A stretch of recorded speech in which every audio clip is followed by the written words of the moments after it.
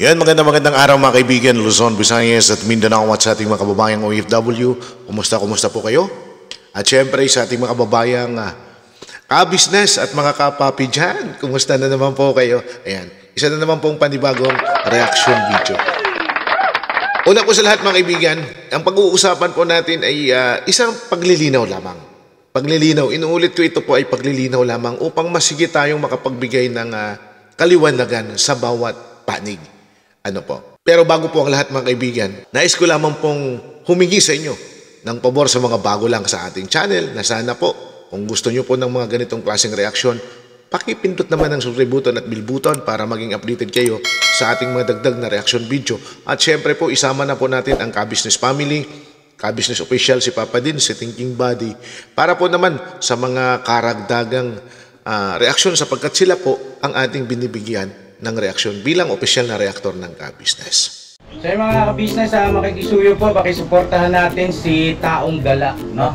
Yan, taong gala po. Yan po ay uh, reactor ng ka-business official at Papa Dean's TV. Nagpaalam po yan mga ka-business, ayun na, uh, pakisuportahan po natin siya. Taong Gala. Opo. Salamat po na marami, God bless po.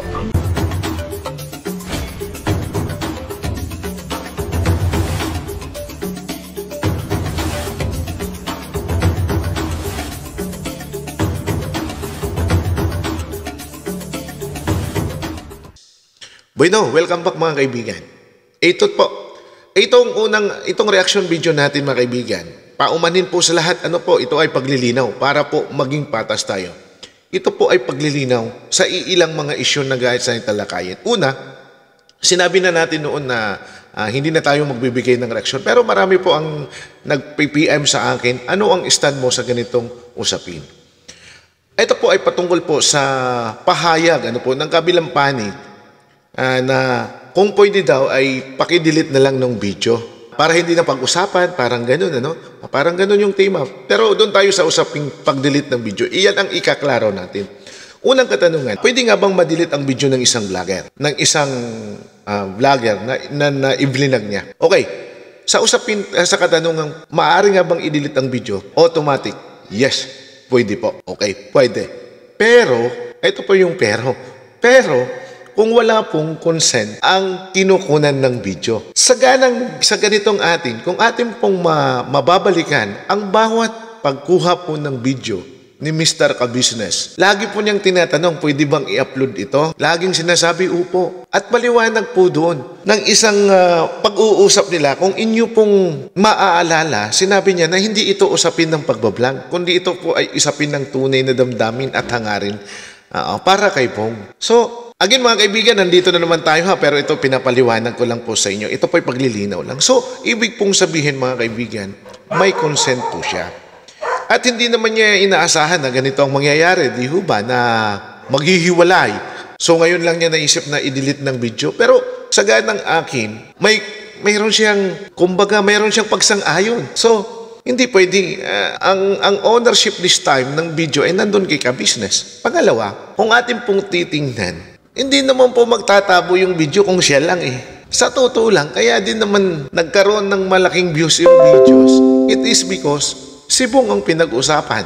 At alam naman natin kung pagdating sa usapin Bong, ay eh marami pong mga taga-subaybay ang nag-aabang.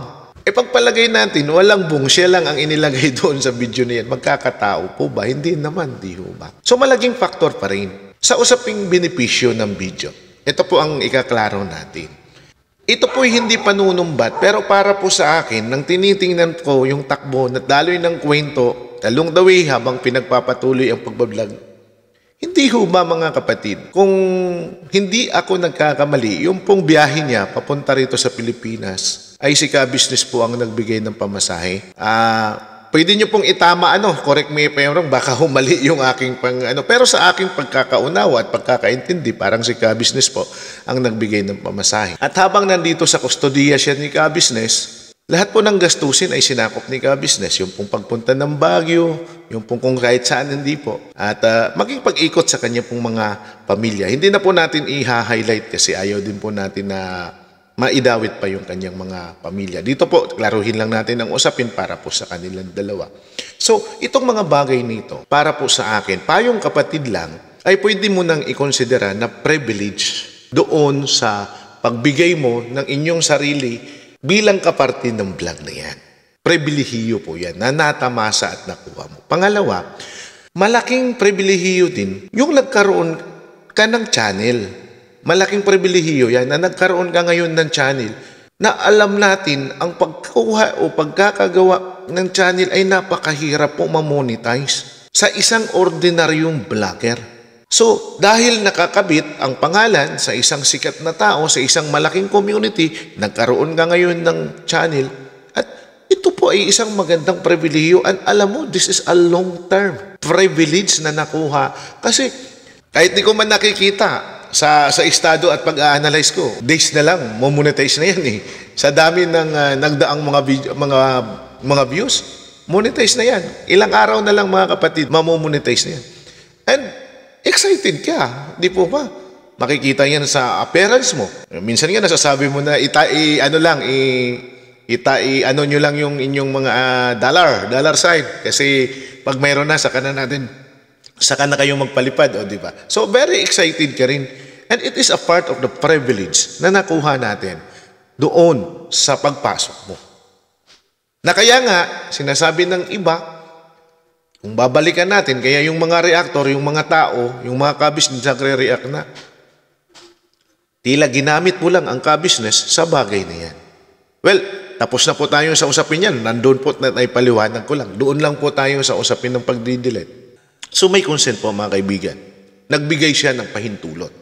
Alam niyo po mga, mga kapatid, ah, para po sa akin, ito pa yung kapatid. Siguro, ang pinakamainam dyan is alagaan mo na lang yung channel mo. Dahil nandyan na, may channel ka na.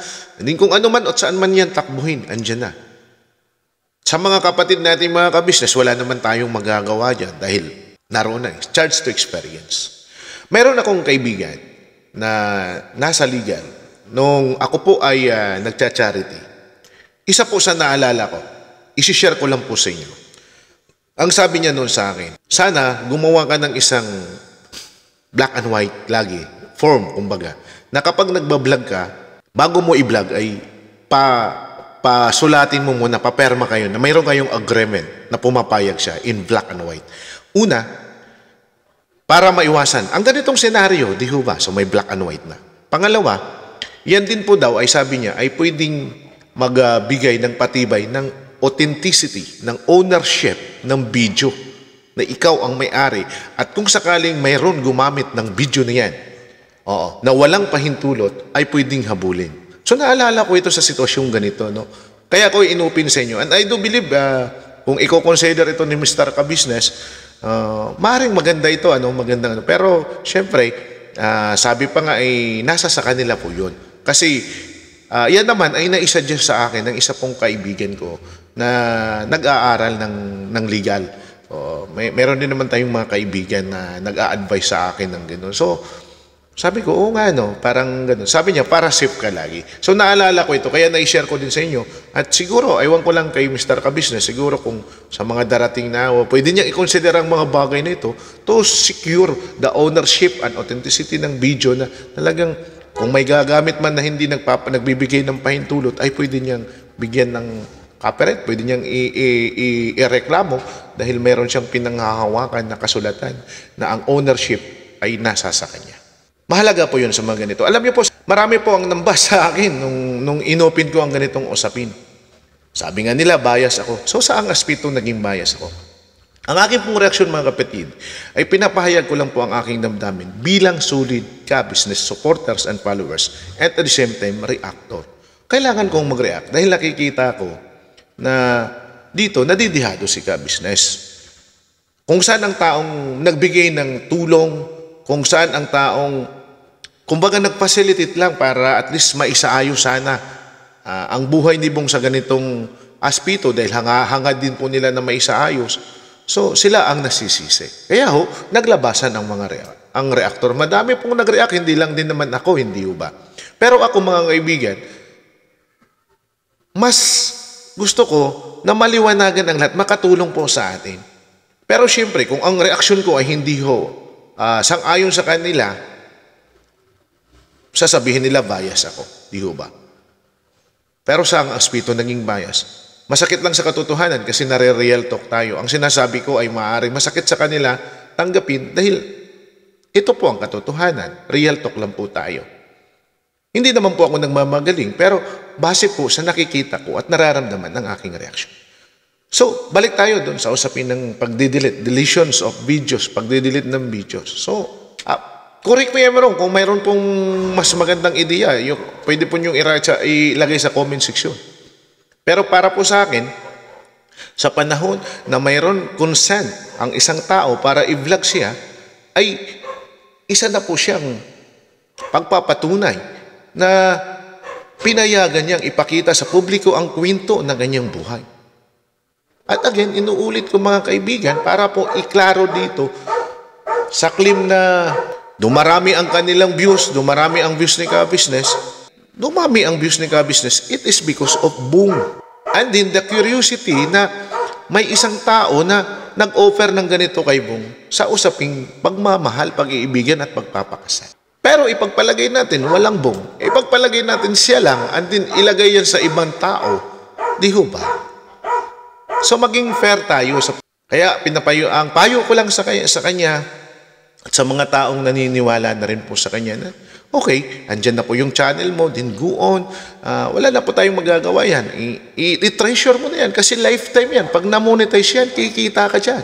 Pero dapat i-consider mo na kaya siya nagkaganon, it is because sa action na ginawa na nakapasok ka sa ka-business family, nakapasok ka sa buhay ni Bob. Yan po yung realidad doon. So, go on. Nandyan na yung channel, ipalago mo yan. Iwasan na lang natin yung mga ganyang mga bagay na uh, kumikita sila, uh, dahil sa akin, dahil sa ganito, usapin. So, iwasan nila po natin. Dahil, natural na po yun. Tulad again ng sinasabi ko, nung una pa lang na reaksyon ko, sabi ko, kung ano man yung mga darating na mga pangyayari, ay that is the consequence of her action. Lagi ko, maliwanag po yun sa sinabi kong, nung una pa man, sinabi po, ay atin pong binanggit ang bagay na yan. At ito na nga po, di po ba? Pero ang maganda doon, kung i-consider at titingnan niya in the positive side, ang bagay na yan, nagkaroon siya ng channel. Di ho ba? So go on. Palaguin mo yung channel mo. Yun na lang ang maging siguro magandang pagkakataon. So, sana maliwanag sa lahat mga kaibigan ano, about sa deletion. Hindi ako gaanong naniniwala dahil una, Mahirap pong mangyari ang bagay na yan. Huwag po kayong mag-alala at magpanik kasi may consent po siyang ginawa. Doon po sa video, bago po gawin ang video, sinasabi niya na opo, pwede pong i-block. Pangalawa po mga kaibigan, kung usapin naman na sinasabi nating pribilehiyo about sa video, kumita man yan, siyempre, dahil kumita siya, dahil nandyan din si Bong.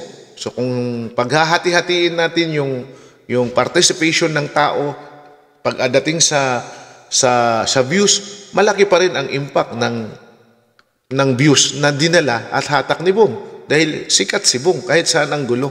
Di ho ba? May na mayroon ng pinatunayan si Bong siya, eh, wala pa pong napatunayan. Kaya lang nagkaroon ng kuryosidad ang tao. And then, eh, ito na nga po. So sa pribilehiyo, sapat na po yung mga privilege na natamasa niya, yung pag-uwi at pagpunta pagpunta sa Baguio, kung saan man nakarating yan, pagbalik niya sa, sa Hong Kong, And then, ang pinakamagandang pribilehiyo, yung pong channel niya. Iyan po ay paglilinaw lang mga kaibigan, mga kapatid. Ano po? Kaya po tayo napablog uli para po at least sa akin lang, hangad natin matapos na ang usaping ito. Dahil tulad ng sinasabi natin, nasasaktan po. Sa lahat po ng mga tao dyan, huwag na po na lang natin babanggitin ang kanyang pangalan dahil ayaw na ayaw po ni Bong na makita at uh, marinig pa ang kanyang pangalan respeto po natin ang damdamin din po. Actually, nakita po natin sa mga reaction din ni animator, uh, ni anime, reactor at saka si Torak Channel, ano, mayroon din pong pahayag na rin doon si Bong na uh, nasabi niya na nakikiusap na wag nang gamitin ang kanyang pangalan, wag nang isama ang kanyang pangalan sa pagbablog. Sa inyo po lahat mga kaibigan, hanggang dito na lamang po. Sana po ay nakapagbigay linaw tayo about sa usaping ito. Ako po muli si Taong Gala, pero bago po tayo magtapos, atin po sanang pinapakiusap na sana po ay suportahan po natin ang ating pong mga kapatid. Ano po, na sina Torak Channel, si Mamplers uh, Mumplers Channel at saka si Anime Reactor TV. Likewise po mga kaibigan, please do support Ka-Business Official, Ka-Business Family, Papa din sa Thinking Body. Ganon din po ang iyong abang lingkod, Taong Gala. Sana po, hiling ko lang, manatiling nasa hanay ng ka-business. Marami pa pong mga pagkakataon at marami pa pong pagsa- pagpapasaya ang mangyayari. Ito po ay isang hamon at pagsubok lamang. Magpaganon pa man, nanin- naniniwala ako na ito ay magandang ibubunga sapagkat mayroon sulit na community ang ka-business. At hanggang nandyan tayo, nagmamahal at sumusuporta sa kanila, mananatiling masaya ang ka-business. Maraming salamat. Magandang gabi, magandang araw, magandang umaga sa mga panig ng mundo. Paalam pansamantala.